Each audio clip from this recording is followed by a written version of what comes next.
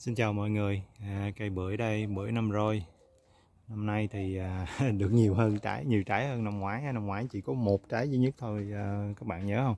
Nhưng mà năm nay chắc Vũ nghĩ chắc cũng sơ sơ, chưa đếm kỹ nhưng chắc cũng có được mười mấy trái á. Vậy là kể như là, là, là tốt rồi phải không? À, năm ngoái trái mà năm nay mười mấy trái thì, thì đỡ hơn năm ngoái. À, Nhưng mà năm nay đặc biệt á, là chẳng những là cái này là năm rồi không á ha mà mấy cái mà cái bưởi nhánh khác mà vũ ghép á, nó cũng ra trái nè như cái này là cái bưởi ờ, Oro Blanco nè. À, các bạn thấy là nó tròn nó khác cái cái hình dạng của cái cái cái bưởi năm rồi ha. Đó rồi ở đây á, là thêm một cái nữa là cái này á. Nhánh này á, là bưởi ổi biên hòa nè.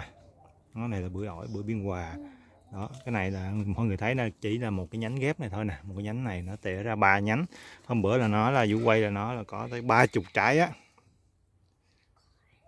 Bữa là ba cái nhánh nhỏ này với là một cái nhánh chánh này thôi mà ba chục trái này nó rụng hết rồi ha. Nó rụng hôm nay ba chục trái là nó rụng xuống còn có đây coi, một, hai, ba, bốn trái thôi. Nhưng mà vậy là cũng nhiều rồi. Mong rằng nó sẽ giữ vụ phải lấy sợi dây vụ cột nè vài bữa nữa vụ phải chút nữa vụ phải cột thêm nữa, cho để nó quăng chắc nó nó gãy cái nhánh. Đó. rồi cái này nó cũng vui nè. Cái này cũng là bưởi ờ, năm rồi như là một cái ờ, một cái chuẩn khác hay sao đó, vụ cũng chẳng nhớ nữa. Tùm lum la ghép ghét còn quên cái này, mọi người thấy chỉ là có một nhánh này thôi. Mà bữa nó được hai trái, nó đầu được hai trái, nhưng mà nó rụng hơn trái rồi, hôm nay chỉ còn có một trái thôi nhưng mà vậy cũng được nó khác khác một chút xíu cái cái cái cái năm roi này thì phải vũ nghĩ như vậy. Nó giống cái bưởi ổi hơn, cũng tùm lum quá, không biết.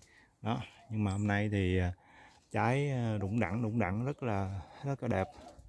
Nhìn rất là mát mắt, bởi vì nó được nhiều hơn chút xíu nữa. Nhưng mà thôi, năm thứ hai mới ra bông thì à, vậy cũng cũng vui rồi. Nè, ở trên cũng có nè, trên cao cũng có nè đó, có mấy trái nhỏ nhỏ trên cao. Hôm bữa là nó nó rụng quá trời rụng luôn. Hôm bữa là ra quá trời bông nó rụng chắc cũng cỡ mấy ngàn trái á. Rụng đầy hết luôn á. Rồi quay sơ cho mọi người coi cái bưởi với vui thôi ha. Rồi chắc ờ, đợi tới lúc ờ, thu hoạch năm nay nữa đây rồi ờ, quay cho mọi người xem. À bye bye.